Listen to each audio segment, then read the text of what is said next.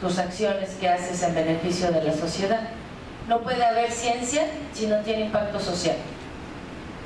Yo me despido, pero la tarea que les dejo es monumental. Replíquenla en todas las instituciones donde pertenezcan. Hagan un mejor México, háganlo crecer. Y ojalá muchos más doctores se unan a la tarea de trabajar sin un centavo de paga. Porque para evaluar la conciencia de una persona no hace falta poner un precio. Escuchen lo que dije. Duerman tranquilos.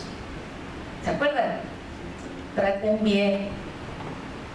¿A quién? A los estudiantes. A la sede le agradezco mucho todo el esfuerzo que hicieron por recibirnos.